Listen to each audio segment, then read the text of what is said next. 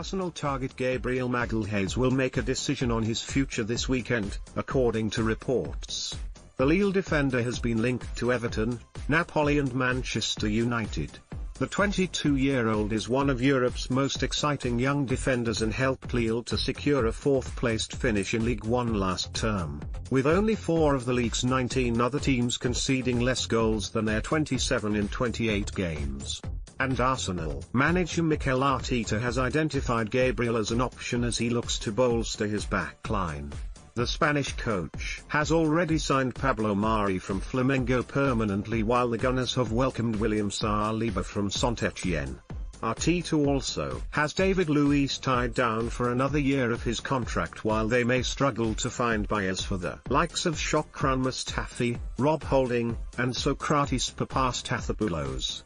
Calum Chambers is meanwhile expected to be out until 2021, with Saliba, Mari and Luiz currently expected to be Arteta's three main options.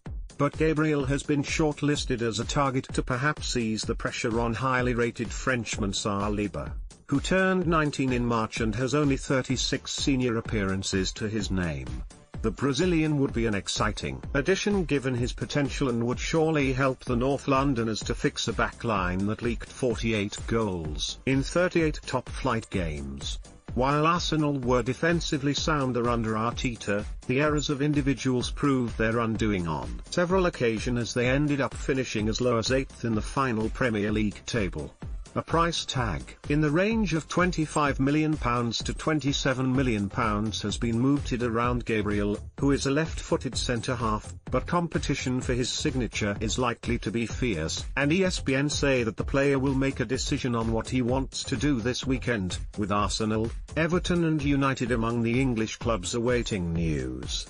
Duncan Castles has however suggested that United may be best placed to land Gabriel, courtesy of the Red Devils having Champions League football.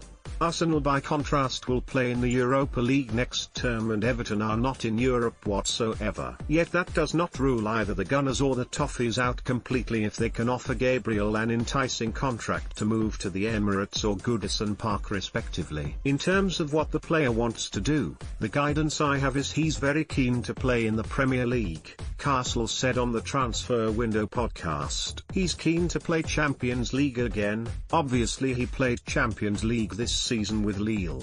Lille didn't qualify, they're in the Europa League because they didn't quite manage to get back into the Champions League places before the French season was shut down. But no particular preference either way is the guidance I have and it may well come down to whichever club offers him the best financial terms and can satisfy Lille by getting to that 30 million euro mark for the transfer fee. Arsenal are closing in on a deal to sign Willian on a free transfer from Chelsea with the Brazilian set to sign a three-year contract at the Emirates.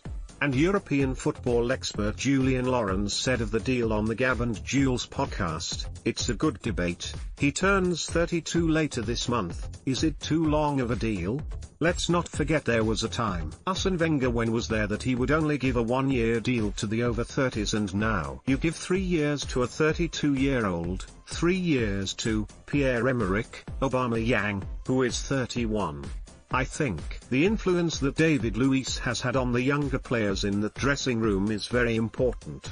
Maybe they think Willian will be the same. But what you did with Luiz was you gave him a 1 plus 1 deal, which I thought was the right thing to do at the time last summer. I don't think Willian is even a 2 plus 1, so you had one way of doing things with the older players then you change completely to give contracts to somebody who is 32.